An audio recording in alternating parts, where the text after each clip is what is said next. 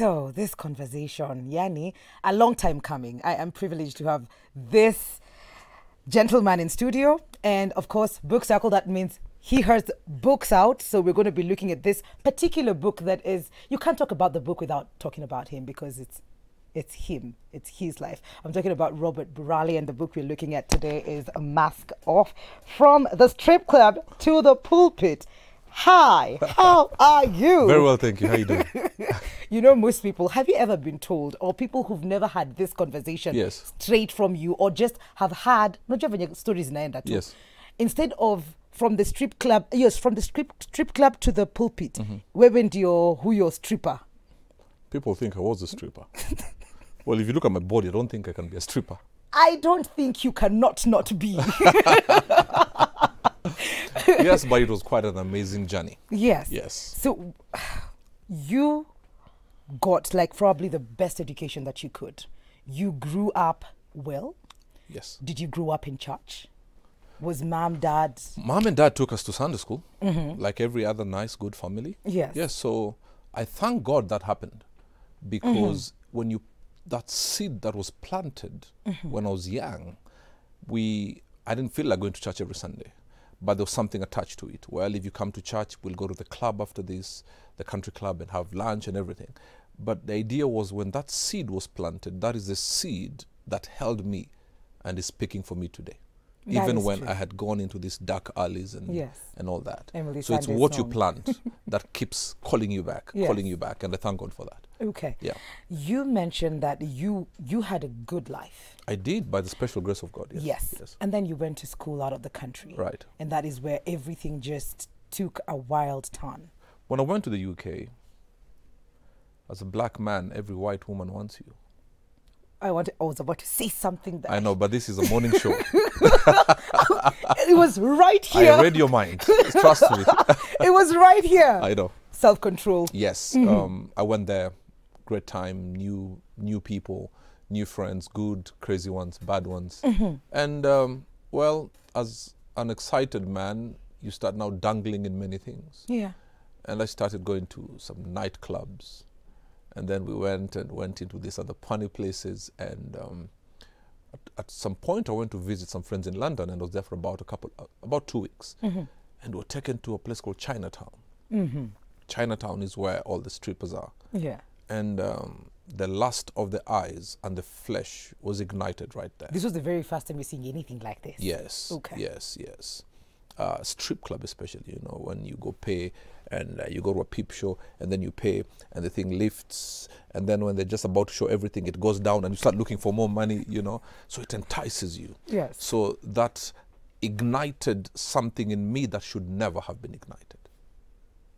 And that's how my journey started. So when I went back to a town where I used to stay called Leicester, Mm-hmm. so I started looking for the Chinatown of Leicester or something Yeah. that offers the same. Did you find it? Oh, what are, what are you talking about? Almost in every corner. I mean, this um, the, the first world countries. Yes, we do admire them, and they've done great things, but also they're very liberal. So you see these things almost in every corner. Mm-hmm. Yeah. So you come back home, Mm-hmm. And we are not very popular with such. Uh, it probably maybe it took a while before you found one. Actually, when I came back, Mm-hmm. there were strip clubs all over. They, they, they Yes. So the, there was a season in this country Yes. where strip clubs were there. I think there was Applebee's, there was this, there's Oh, Barrels. Yes. yes, So and that the- season. Mm, mm. So I came back and found one on Langata Road. Okay, Dark.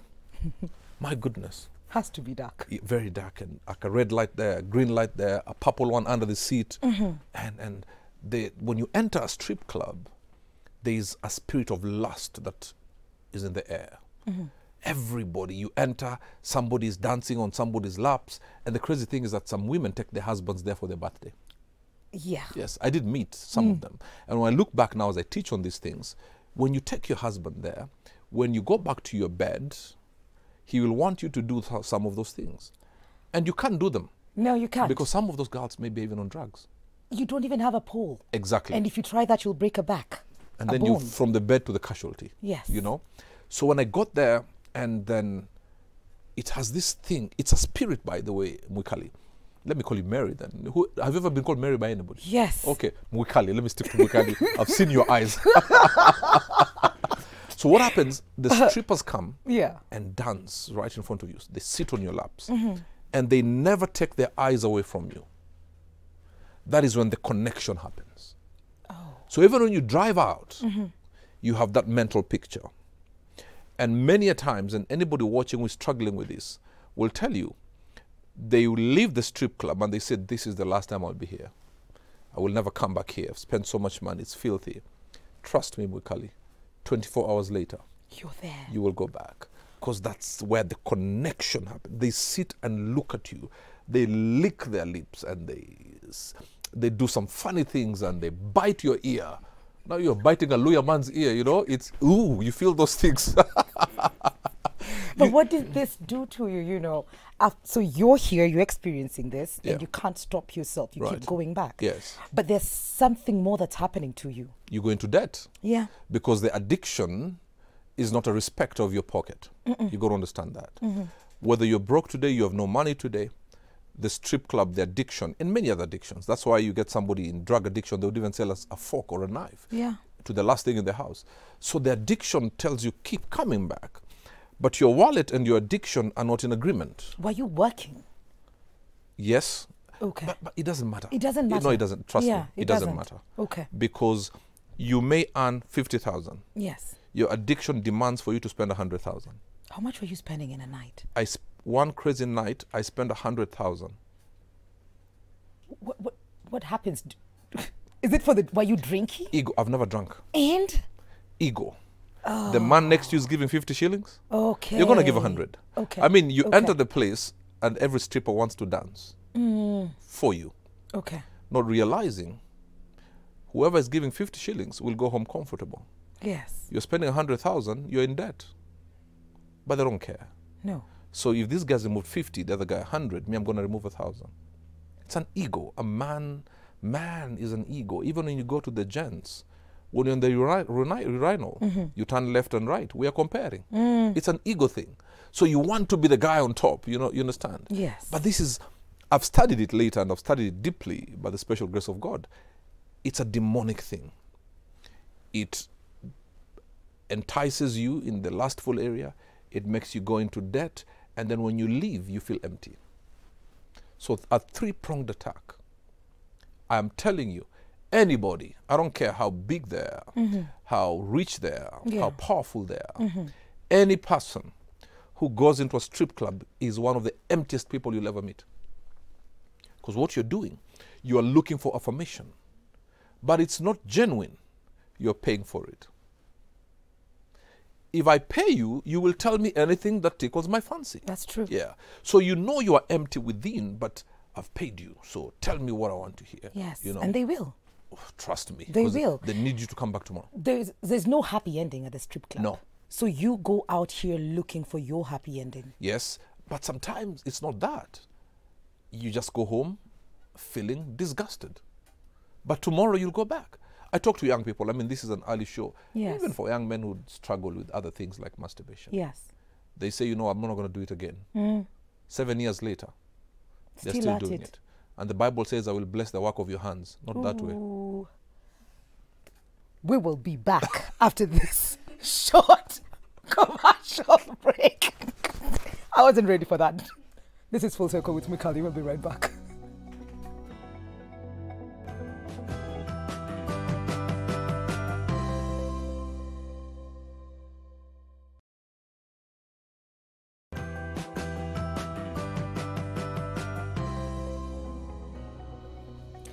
Welcome back to Full Circle with Mwikali. Robert Burale in the building. He's a transformational speaker. He is a pastor. He's a life coach. He's an author. All of those things put together. And he just dropped a bomb on all of us, but it's fine. We have moved on swiftly. Let's talk about you being in debt. All right. And what was the craziest thing that you ever sold to just get that money to go back to the strip club? For me, I didn't sell. What did you do? I went into heavy borrowing. Ooh. Yeah, there's a difference. I didn't sell. Okay, I okay. didn't sell. Uh-huh. I don't believe in selling things. It's it's another all demonic behavior. I mean, you can sell everything to your last pair of socks. So I didn't struggle on that. I didn't sell. I just went into borrowing.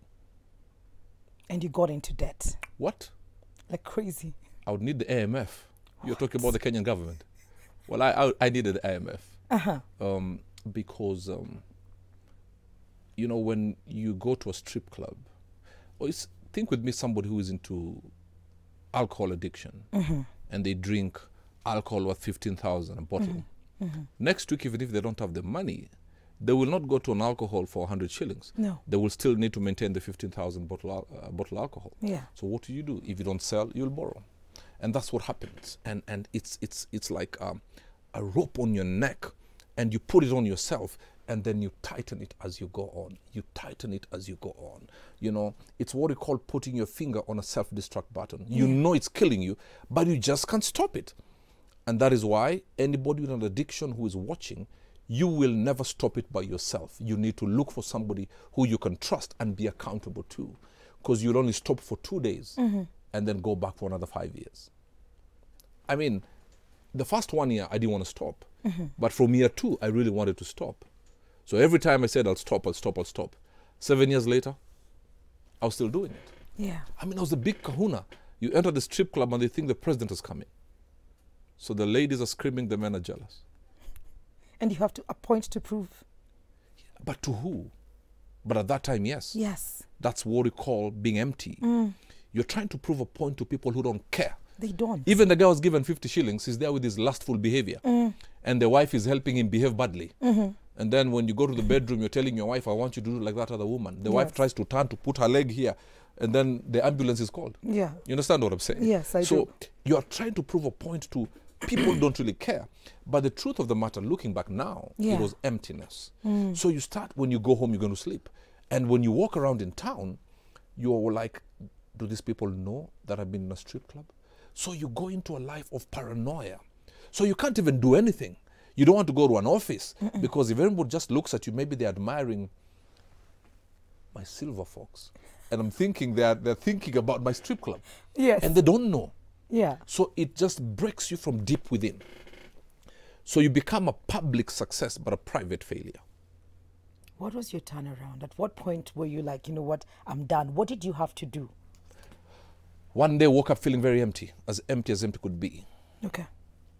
Driving and I'm listening to a secular station, park my car, get some apple juice, never forgotten this. Someone Hurlingham, come back to the car, put on the car. Somehow the station goes to a, a gospel station.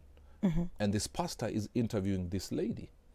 And this lady is somebody known to me. Mm-hmm. I listened to her story. She had lost her husband, mm-hmm. and the relatives were saying she's the one who killed the husband. They mistreated her, da da da. So I called her, and I said, That's after the show. I said, Man, I feel empty. She's come to my office, and I went and we talked, and she could pick that I was suicidal. Oh. And she says, You know the pastor I was talking to? Go and see that pastor. I sat with that pastor, it was on a Thursday, until midnight when he led me to Christ. And the interesting thing, when I went back, did this, I joined House of Grace Church. Now, watch this, Mwikali. Okay. House of Grace Church at that time was actually opposite this strip club. So basically, I just crossed over. Quite literally. Yes, crossed over. The strip club faced the gate to where House of Grace was. I'm trying to visualize what is on the other side now. I can't see anything. Nice, yeah. I just see House of Grace. Yes. and you can imagine. So I go to church, and Bishop David Muriithi never met me. Mm-hmm. He calls me. I was in a white trouser and a pink shirt. I mean, dressing is my thing. Clearly. Sometimes I'm so, so smart, I'm jealous of myself. Are you going to do this now? Okay, sorry. so he picks me and Okay. says, I don't know who you are. Uh-huh. But if I be a man of God, your name will be known in this country. I don't know how. And then he finished by saying, mm-hmm. If I be a man of God. Ooh. And that's it. I'm serving that man and his ministry mm-hmm. until this day. And this relates to what you just said at the beginning of this conversation that it was a seed that was planted in you When I was a young boy. when you were a young boy. Yeah. So it was easier for you to make that transition Absolutely. because it was in you. It was planted already. Mm-hmm. And that's why I am, my daughter's been raised in church. I, I understand sometimes maybe these kids don't feel like going to church. Yes. But once you plant that seed, God just takes care of it. That's and true. later in life, you mm-hmm. shall see the benefits. It's not easy. You know, somebody like me coming to the public like this, I mean, this It- book is it- all over. it- I know. And why? You, you could have people have this conversations. I'm not saying why because it's a bad thing, you know. Yeah, so we'll know this pastor and his story is also known just, you know, within the congregants and it's just small. But then you went big. I don't and you come. wrote- I don't come out from the club of perfect people. no. I'm just a man trying to be better tomorrow than I am today. Mm-hmm. And every pain, any mistake you do is not for you, it's for somebody else. Now, this thing happens twice. Other people attack you. I get attacks up to this day. Yes, you do. Blogs have a great time. How are you doing? I'm good. I mean, I've been called Morade because of Corona. It's like, wait a minute. How did you like that was just so it was just the other day. Yes. And it still it's still continuing. I mean, when I look you up, it's one of among the first things You'll that will come up. You'll be abused. But you know what? Yeah. One person who says, My life turned around because of your story, Mm-hmm. for me, silences a thousand haters. And let me tell you, if you never have people hating on you, Yeah. you're like a black man in a dark room winking at a black woman and expecting a reaction. Nothing, Nothing. in your life will come for nothing. It will come for nothing. So every pain, every attack is not for you. I've owned my mistakes. Yes. I will never act perfect. Even when I preach the gospel of Jesus Christ. That's true. I'm not going to say, oh, praise the Lord, you know, I had the Holy Spirit from the age of eight. No. There's a time I was dancing with women like nobody's been, just hitting them like this. You understand what I'm saying? yeah. But now I'll hit and hit the Bible. but you've got to make people understand. Yes. I don't know why people act perfect. We are not. Even the ones who attack people on social media Mm. are actually as empty as empty could be. So they are projecting their weaknesses to other people in a bid to run away from their own. So if anybody expects me to act perfect because I preach the gospel of Jesus Christ, you will be disappointed. You know, so right now somebody's watching. yeah. Somebody's addicted to alcohol, drugs, masturbation, uh, strip clubs, and they're wondering, will I ever get out?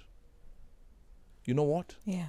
if I got out, you too will get out. Mm. So if I can help one person, even if he's in Mandera or somewhere, that's that's what life is all about. Mm-hmm. So that you know, one day, you and I, Yeah. our lives will flash right in front of our eyes, and we'll be breathing our last.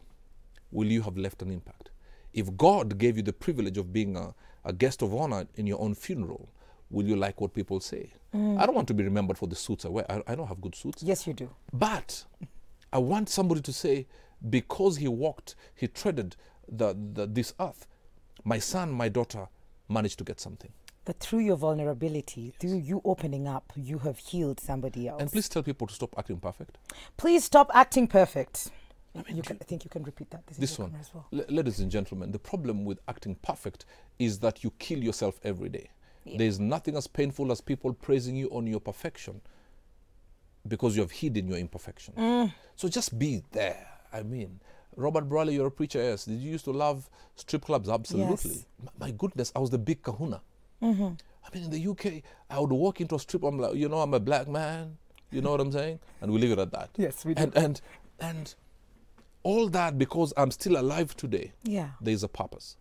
Did the emptiness go away immediately you made the switch? No, it's a journey, Oh my goodness. it's a journey now. What happens So then the fight continues. up to this day? Because now what happens when God sees your heart to try and get better, Mm-hmm. He now removes other people from your circle and brings the right people. Okay. That's why I'll give you this story that somebody gave when I did the men's conference. Mm-hmm. A gentleman fell in a ditch. And as one person passed, he says, Help me. And the guy wrote a note and said, I am a lawyer. When you get out of this place, come, I'll help you sue the company that dug this hole. And then he went on. The second person passed, and this guy says, Help me, help me. And this guy wrote a note and said, I am a doctor. When you get out, I'll heal you. Mm. And the third person was passing, and this guy says, Help me. And this guy didn't write any note. He jumped into the hole. And this guy says, How stupid are you? Now we are two of us stuck here. he says, No, I have been in this hole before. I know the way out. Oh. So any hole we have been into Yes. is not for us. Is to go back to the same hole, hold the hands of these people, and say, I will show you the way out. It's as simple as that. And that is what you're doing. But it's painful because you have people who use what you say against you. they will always come back with that stories from back Absolutely. when. And that's why I take my bishop's advice. He told me something very powerful. Mm-hmm. Mwikali. He says, have a soft heart but a thick skin. Yeah. Keep on moving. Yeah. Because on that day, you will answer to yourself. You and I today, and everybody, these guys I'm seeing behind this lady, that mm-hmm. gentleman there in, a, in an orange shirt, and this lady with something yellow top. guess what? We are all one day closer to our death. That's true. Somebody is breathing their last right now. Somebody's planning to go out next week, but they're dying at 4 p.m. today. We have to make it count. That is the good, the bad, and the ugly. God never wastes anything we have gone through. Never. My marriage failed after one year, two days. Do people mock me? I mean, I go on TV to discuss apple juice. You get somebody on social media. You, what are you telling us about apple juice? You're not married. I mean, I can even discuss my own shoe. What are you telling us about your shoe? You're not married. Satan. But you see, but it's true. I've seen, and I don't know how you take it, but um, thick skin, maybe. yes. Does it get to you at some point? Can I be honest with you? Yes. It used to. Okay. It used to. I mean, it took me close to three years to get to a place. Oh, you're speaking. It's fine. Wait, even the 20 million year COVID, quote unquote, it didn't get to you? I was only worried about my daughter. Okay. not me. When I video called my daughter from the hospital and I saw she's okay, I was like, okay, fine. You know what, guys? Let me sleep. You understand? Yes. But what I do, every time you go through pain, look for the blessing in the pain. Okay. Every time the devil comes to your address, look at the hand of God.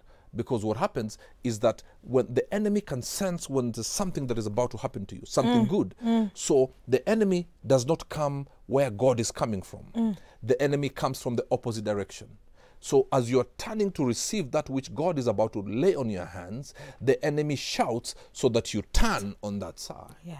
There's a gentleman in the Bible who walked on water, but he only walked on water as long as his focus was on Jesus. That's true. But then the storms and the waves started raging, and the mistake he did, he started looking away and he started sinking That's and true. drowning. So I want to tell somebody right now, you have to, but there's good criticism. Let, let me tell you, not everybody on social media is a hater Yeah. you have to understand the foundation in which somebody is saying something. There are some things, there's what we call constructive criticism Peak that. that are there to make you be a better person Mm-hmm. because better people are, have teachable spirits. Mm. You understand? Yes. Foolish people are not teachable. So differentiate between a hater, you understand? Yeah. and somebody who is giving you what we call positive criticism. And positive criticism, we call it, can Yes. also hurt. But it hurts momentarily, but builds you long term. Absolutely. Haters Yes. backbite you from the back. And they could be the closest to you. And the only thing that is interested in your backside Yes. is the toilet. like Kush Tracy's flash it away. you are very passionate about men. Right. You have been very loud about that. But now you've taken it to another whole level. Absolutely. Because now you have a show on Yes. Switch TV. It's called Oh Man. Man. And just before we get into it, please, can we just see the trailer promo of this show? Season premiere. Today, it's matters men. Do you feel there's an attack on men? Are we feeling attacked? There's a heavy attack on the boy child. If we don't stand tall, I don't think we will survive this attack. Do men fear successful women? How would you handle a successful woman? Uh, the, just the way I handle my wife. Be the source of inspiration. Elevate her. It all boils down to the character of a person. Your wife is successful, Chris. Yes. Yes, she's a successful But this one woman. is a special case. They work together. What are some of these things that you did that catapulted you to where you are? Never ever keeping time. That is still my slogan to date. As in, I never keep time. I'm You're always, always- ahead of time. Yeah, Okay. and, and it's worked for me. you have to believe in yourself first. If you don't believe in yourself, number one, no one else will. Oh Men premieres Friday, 16th April at 8:30 p.m. Hey, oh man. What is this about? This is a show that tackles matters men Okay. because we are people who walk around with our death certificates in our pockets. We don't talk. We are dying silently. Yeah. So we want to have a show that will tackle issues of men, uh, and we because we know what you're going through. So a man watching will connect with us Yeah. and say, you know what, we're leaving no man behind. These guys are showing their scars. We're discussing very pertinent issues that affect men, the mm-hmm. boy child, so that we stop dying. 77% of the suicides in this world about men. That's true. You know, men, con- men, women contemplate suicide. Men Actually commit suicide. That's true. Yeah. So we need to, because a society that has broken men leaves women exposed and children vulnerable. That is true. At the end of the day, we're supposed to be protecting our families. And a strong man is not necessarily a perfect man. In fact, people who say they're perfect, I run away from them. A strong man is the one who understands I may not get there, but I'll keep on moving. I will not step. Oh man. Yeah. Every Friday, Every Friday. 8:30 p.m. I'm telling you, only on Switch TV. on Switch TV. It's the You best show in Eastern Central Africa, south of the Sahara, and north of Limpopo. Hey! you know, it feels like we're getting a sneak peek as women Yes. into men's conference. You know how protective Absolutely. guys are And it's a show that that every woman must watch. So it feels like this is for us as well Absolutely. To just see what our men are going through. And who is to say that we cannot invite a lady on the show Mm-hmm. to discuss some things that maybe ladies wish men would know? I want to be on the Absolutely. show. It. So it's it's something that will encompass everybody. Every Okay. woman must watch as well. Okay. And every man must be on the glued to the screen. Ah. So, before I let you go, yes. we have books here. This is the book that we've been talking about the whole time.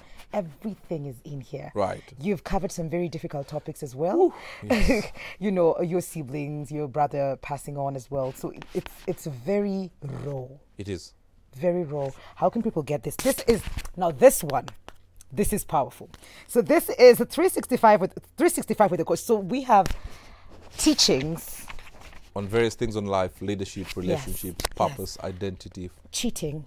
Yes, it's all there. How does she pick her phone call when you are around? Hmm. Kunanyesha and it's not raining. Yes. Usiniongeleshe. Ndakupigia baadaye. Hmm. hmm. They are all in here. How can people get these books, Burale? There's a phone number. Uh-huh. It's 0716 733 672. Say it again. yes. 0716 733 672. Don't call, just text your name and say the book that you want. They're all going for a thousand shillings each, and somebody will get back in touch with you. Within Nai- Nairobi, it's free delivery. Uh, outside Nairobi, of course, there's a fee Okay. for the courier services. Are we going to be seeing any more new books? Yes. Uh, during the corona, I wrote six books. We're in for a treat, guys. Yes, yes. Thank you so much. I'll tell you the one that through. is coming up. Aha, please. The day the world ended. Allah. Yes. The day the world ended. The day our conversation came to an end. we need more time, Burale. But thank you so much for coming through. We are taking a very short commercial break. We will be right back. This is Full Circle with Mwikali.